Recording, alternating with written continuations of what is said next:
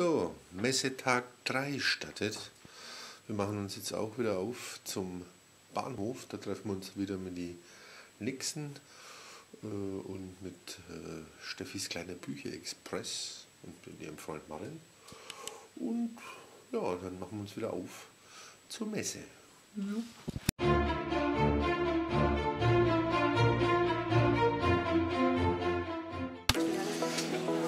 Ja, wir sind an der Messe angekommen. Der Messe Samstag kann beginnen.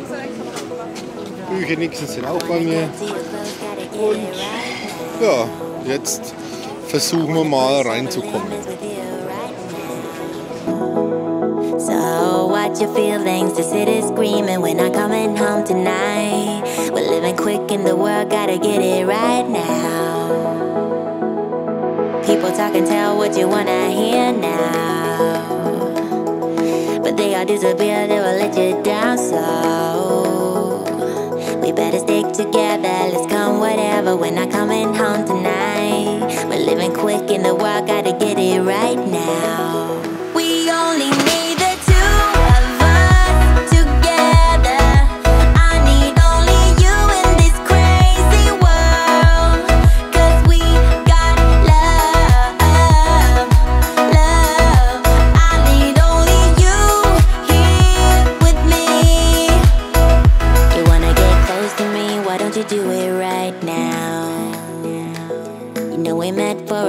You're trying to deny that we should be together. It's heavy weather, we're heading for tonight. You better take what you can, cause the time is right now.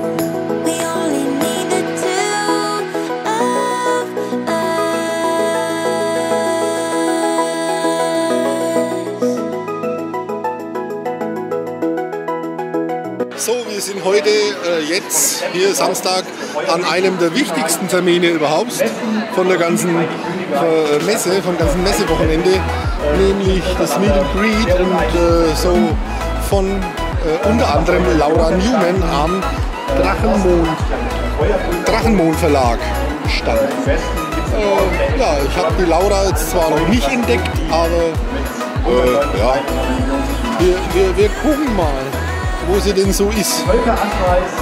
So, die Hauptakteurin ist eingetroffen. Äh, die, ganze, die ganzen Newman-Mädels sind, sind da. Äh, hey, Wieder Nerd. Ja, natürlich, der Nick, unser Buchtoaster, ist auch da. Und wie gesagt, die äh, Newman-Mädels sind da. Ja, Laura Newman samt Mutter und Oma. Ja.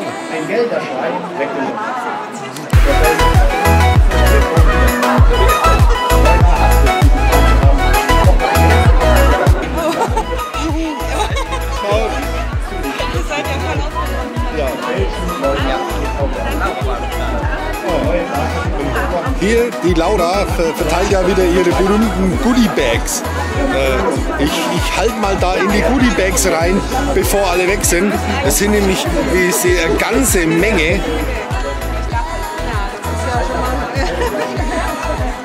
Es war bestimmt wieder unheimliche Arbeit, die sich die Laura da für, ja, für ihre Leser gemacht hat. Äh, Respekt, Respekt. Ja. Ja. Und ihr wisst ja, ich bin so ein kleiner Fanboy, gebe es ja zu. Eine meiner absoluten Lieblingsautorinnen. Und ja, ihr habt ja bestimmt möglicherweise meine Rezension zu äh, This World gesehen. Ein grandioses Werk. Äh, ja. Jetzt wird es bestimmt ganz schön stressig für Laura. Ich habe die Vermutung, dass die ganzen Leute da äh, ja, gern äh, ja, von Laura Buch signiert haben wollen oder eine Unterschrift oder eben so ein Goodiebag gerne bekommen würden. Von dem her, uh, hallo Steffi. Ja, Lady, Lady, Lady of the Books ist auch am Start. Und die Sandra ist auch da. Ja. Äh, wir quetschen uns jetzt hier einfach mal an die, Sch die Schlange ran. Ist egal. Ja, die Schlange ist ganz schön lang, auch schon wieder.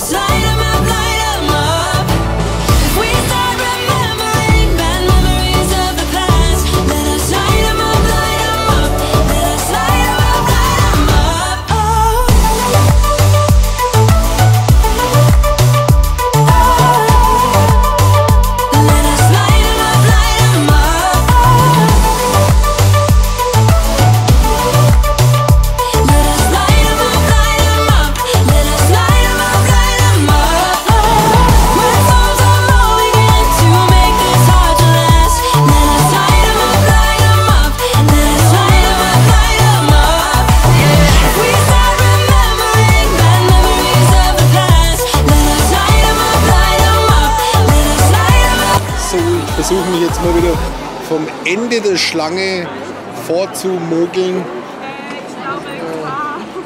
Äh, Ist, ist das hier das Ende der Schlange? Ja, hi. Für, für wen? Für, für Laura. Cool. Siehst Laura? Ja? ja. Hier ist das offiziell Ende der Schlange. Und ganz da vorne, da bist, da bist du. Ich habe sie kurz gesehen, aber wirklich nur die geflochtenen Haare, die sie immer hat. Ja, ich habe gerade schon mit ihr geredet. Mama und die Oma ist auch dabei. Ah, wie cool. Ja, ja.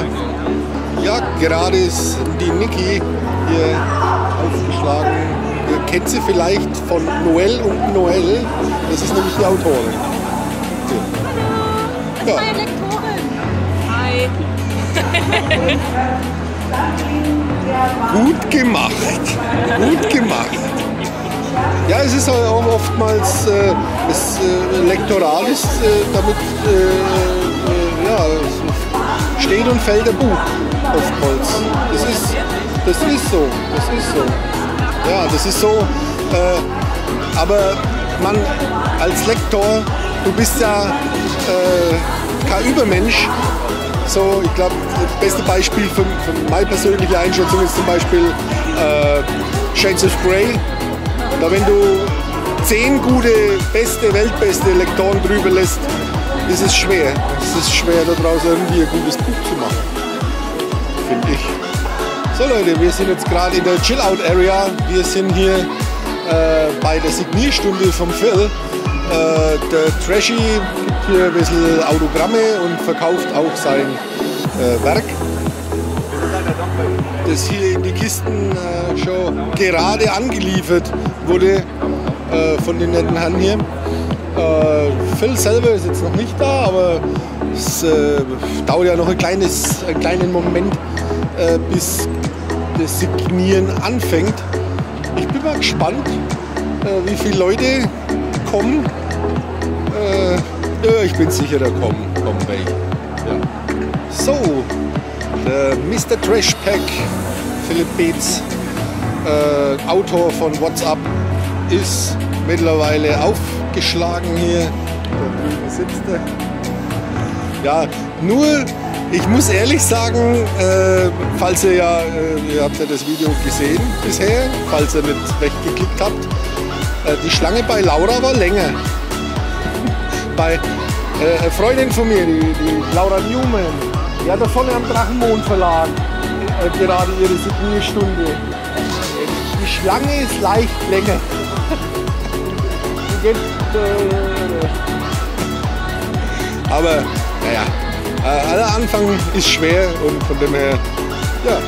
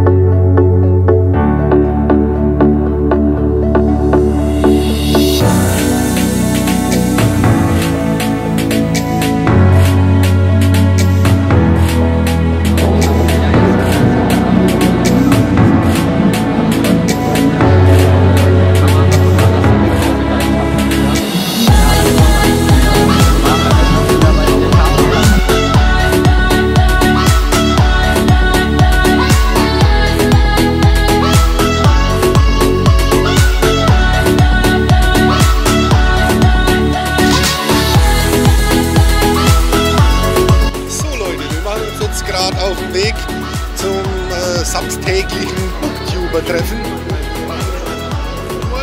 Hallo. Äh, stell dich mal ganz kurz vor. Ich bin die Katja von Katalogs Books und ähm, ich laufe einfach hier mal mit. Genau.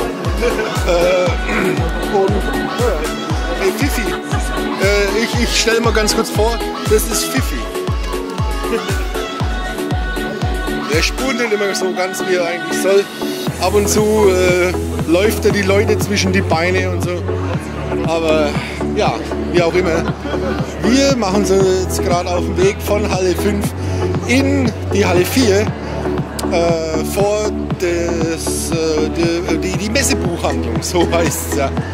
So, wir sind jetzt gerade beim äh, Booktuber-Treffen hier angekommen und ihr wundert euch, ja, wir haben den ganzen Saal hier gemietet, extra für unser Booktuber-Treffen, weil wir sind ja mittlerweile äh, Weile einige, aber nee, es ist einfach nur hinter den Kulissen ein bisschen Platz, damit wir ab vom Schuss sind. Hier ist der Nick, ja, äh, der hat gerade ein Interview gegeben mit einem Blogger, mit äh,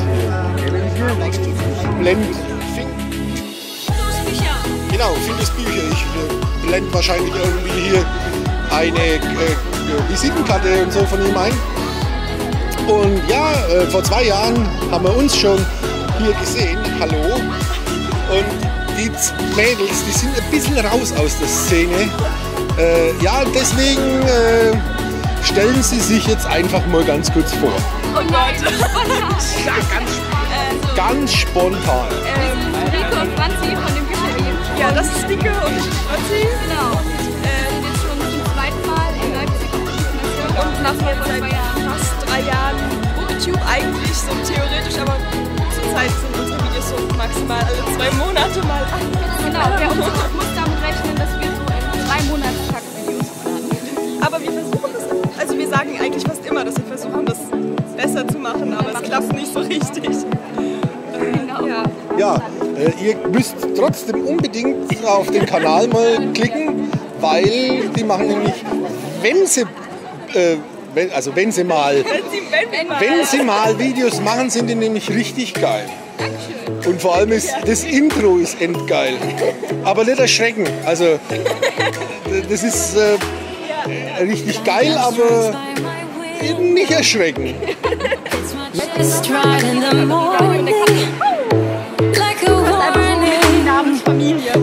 Just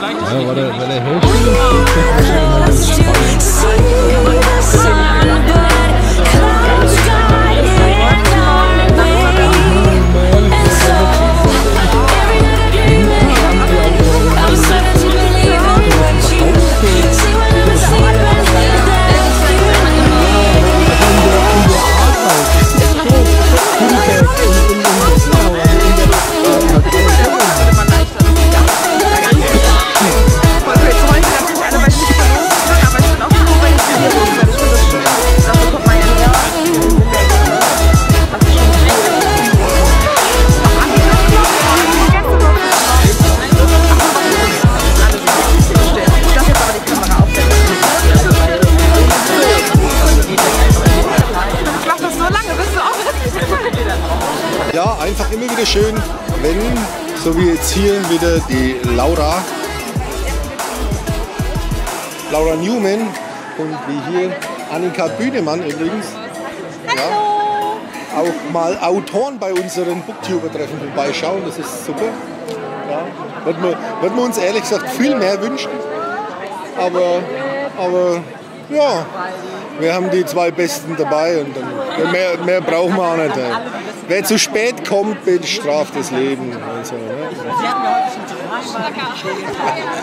Man, man, manche, manche Booktuber können offensichtlich auch nicht mehr so stehen, aber ich verstehe es, mir tun auch die Füße weh. und alles, ja.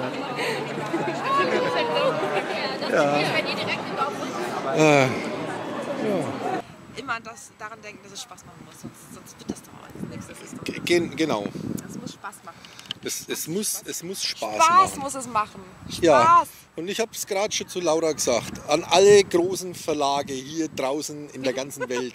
Ja, ihr müsst die Frau endlich mal unter Vertrag nehmen. Lest doch mal ihr, ihre Bücher, die sind alle so was von sensationell gut. Ja, äh, das, ne, ihr, das kann doch nicht sein.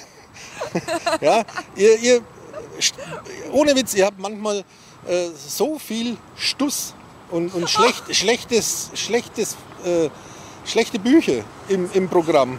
Kann euch mit Laura nicht passieren. Das, das kann euch mit Laura nicht passieren. Ohne Witz. Ohne Witz. Ist so. Ist so. Nee, ich, das ist nicht lustig. Das ist, das ist, Oh, ja, das ist todernst. Todernst. Das ist mein, mein vollster Ernst. Wirklich. Ohne Witz. Ja.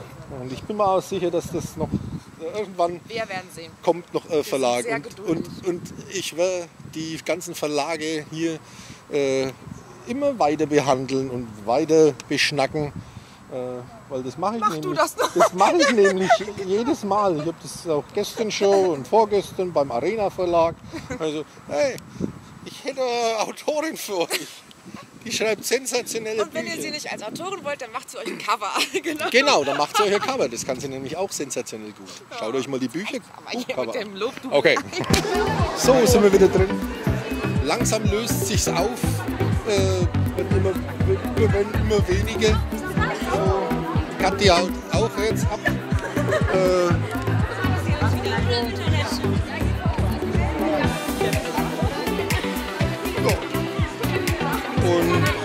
Ja, wir werden dann jetzt auch mal Richtung, keine Ahnung, mal schauen. Äh, das nächste wird äh, die Lisa, Lisa Sophie äh, sein. Die hat um 17 Uhr hier äh, Lesung, also hier in der Nähe, in Halle 2. Und ja, das äh, will ich mir reinziehen.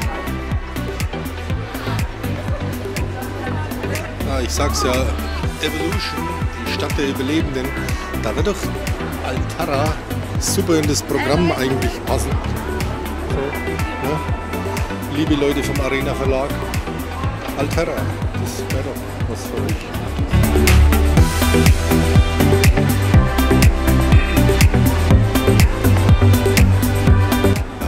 Thomas Thiemer, der schreibt richtig geile Bücher im Übrigen, falls ihr ihn kennt. So, wir sind jetzt am Lesetreff. Die Lisa wird gerade noch ein wenig schick gemacht. Und ja, jetzt ist gleich ihre Lesung. Ich glaube, die ist schon ganz schön nervös. Vor so vielen Leuten spricht sie auch nicht jeden Tag. Weil eigentlich ist sie ja ein wenig schüchtern. Aber ja, wird sie, wird sie schon hinbekommen, ich bin mir sicher. Ohne Witz, ich hätte es echt nicht gedacht, dass ich mir jetzt doch noch hier anstelle. Aber naja, es scheint ja relativ flott vorwärts zu gehen. Und naja, sonst muss ich ja ewig warten, ne, bis ich eine Signatur von dir kriege, Lisa.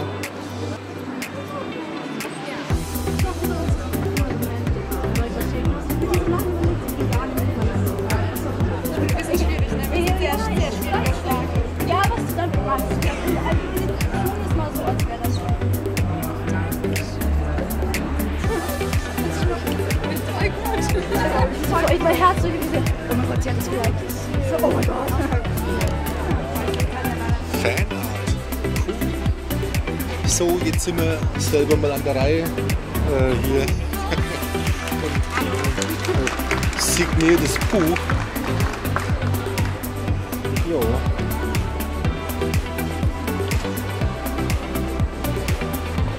Ja, beim, beim, beim Trashpack heute war es nicht ganz so. Ja, da war, da war bei weitem nicht so viel los Ja, als, als, als hier. So, ich habe so mit 10, 20 Leuten gerechnet und dann dachte ich mir so, ja, wir Nee, nicht, nicht, nicht, nicht, nicht wirklich. Nicht, ist nicht, nicht wirklich. Ja, aber es ist cool. Ich finde find, ja, ich finde es toll. Ich würde es auch rezensieren. Ja, Ja, ja.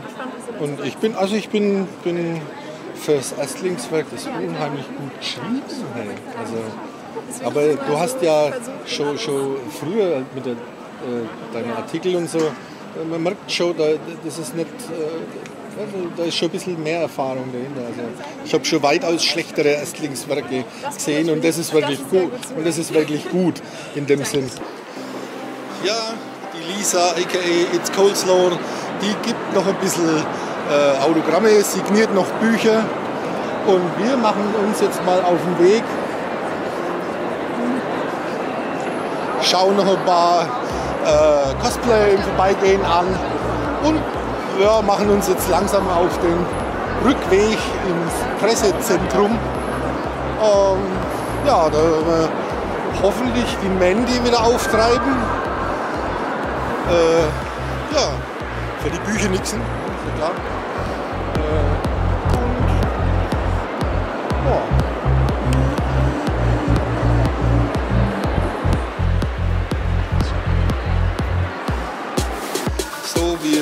Wir checken aus. Auf in der Aufzug.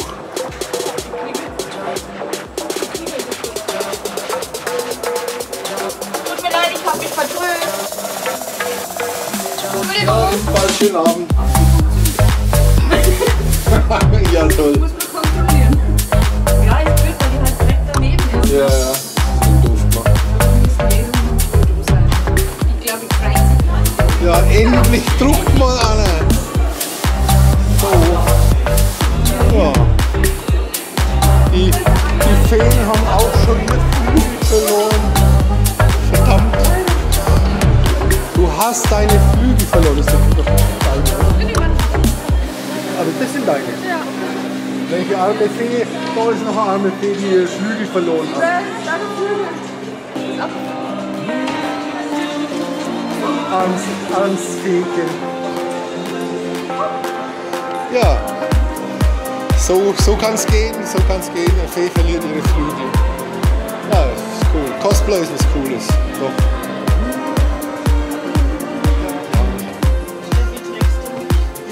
Hilfe. Unsere Füße. So, äh, Amanda und die Jungs sind da vorne. Ah, alle wieder beisammen. Jetzt läuft noch der Martin, so wie gewöhnlich, so wie gestern. Aber den gabeln wir dann in der Stadt auf. Ja Leute, gerade sind wir vom Primark. Äh, aber der macht jetzt gleich zu. Äh, ja, eigentlich wollten die Bücher nichts und dann noch ein bisschen shoppen, aber naja, die lassen nichts mehr anprobieren. Wir sind ein bisschen zu spät dran. Von dem her, egal. Ja, und äh, wir gehen jetzt dann essen. Mal gucken, wo. Äh, äh, hat geheißen nämlich Subways, aber hey Leute, ich habe echt null Bock auf Subways. Ich will heute mal was Gescheites. Äh, eigentlich eher kein Fast Food und so. Aber ja, mal gucken, wie es